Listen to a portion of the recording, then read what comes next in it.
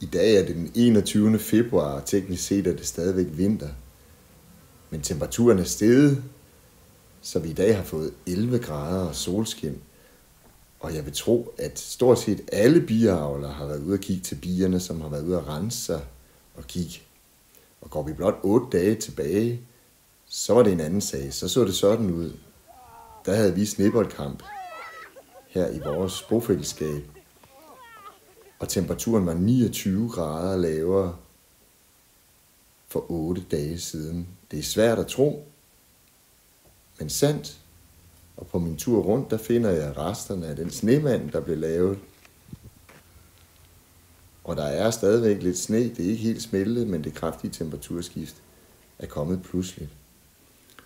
Og som biavler, så skal man ud og se, om bierne kan finde lidt pollen, for det er jo meget vigtigt for bifamilierne. Her det er som bierne har fundet, og i haven finder jeg en enkelt lille spæd krokus, som selvfølgelig også bliver besøgt af de ivrige bier, og vi ser, at den har fundet lidt pollen. Og julerosen, der faktisk har stået hele vinteren i blomst, giver stadigvæk lidt, selvom den er ved at være færdig. Og så får jeg blod på tanden og går ned ad vejen for at undersøge, om den røde hestehov er ved at være så langt, at den giver pollen. Der er små knopper i bunden af de visne blade og stængler fra sidste år. Og der er en enkelt bi. Der er en blomsterrank, der er blevet så stor, at den er sprunget ud, så den giver både pollen og nektar til bierne. Og det er jo bare skønt at se. Og i vores have, der har vi lige nu også andre blomster. Her er det tulipaner. Og grund til, at vi har så fine blomster i vores have, er, at vi i vores bofællesskab har mistet vores ældste beboer, Gudrun. Hun blev 92 år og 3 måneder. Og blomsterne fra hendes ceremoni og fra kisten har vi lagt ud. Og fordi det har været så koldt, så ligger de helt friske her